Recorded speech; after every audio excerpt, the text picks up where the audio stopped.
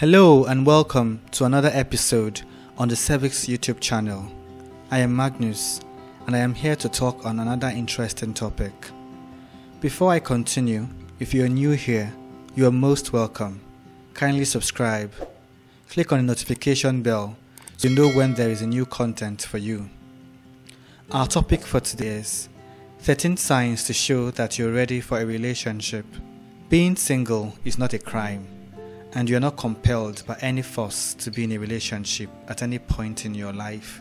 There are many people who experience stress in relationships because they are not mature to be in one. As you should already know, maturity in this sense has nothing to do with age. The maturity we're talking about is explained in the 13 signs to show that you're ready for a relationship as listed below. 1. You have met someone great and you didn't push them away. 2. You have stopped questioning things. 3. You no longer have a rigorous checklist. 4. You are happy with where you are in life. 5. You've learned how to compromise. 6. Independence isn't foreign to you. 7. You sorted your own issues. 8. You've learned to be an effective communicator. 9. You've gotten over your ex. 10. You're happy with yourself, even when you are alone. 11. You've learned to love yourself. 12. You are done playing around. 13. You want to share your love and positivity with another person.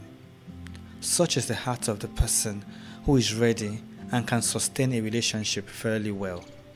If you think you are lacking, kindly enjoy your singleness so that you don't become a burden on yourself and another person. Alright guys, I guess you've had fun watching this video. Please let me know what you think about the topic in the comment section. If you've not subscribed, please hit the subscribe button and become a part of our family. Show me some love by liking and sharing this video with your friends.